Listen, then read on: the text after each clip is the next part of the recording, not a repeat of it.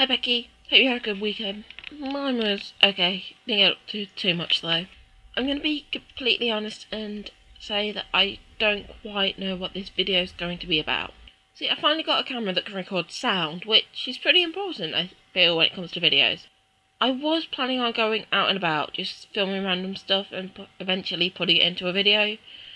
But you saw what the weather was like today. It wasn't very good.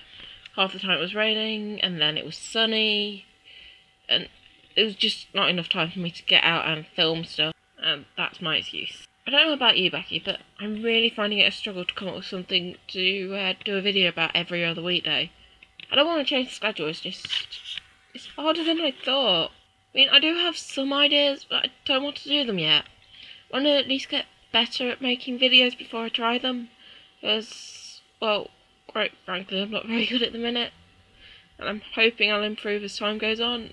But until I feel like I'm actually able to make the videos is that I want, then I don't really have many ideas that I can do. I don't know what the matter is. I've known you since I was six. It shouldn't be this difficult to have a conversation. But somehow it is. I'm not entirely sure why, but I think it's something to do with the fact that we don't have immediate replies to one another. It's not like if we were texting one another, the response come pretty quick, or if we were talking on Facebook or face to face. We have to wait at least a day for a response to any question we have. And if we're the one posting on a Friday, then we've got to wait all weekend. I guess what I want to know is, are you having as much trouble as I am coming up with something to say, or is it just me that's having this problem? Anyway, I'll see your video on Monday. Until then, bye.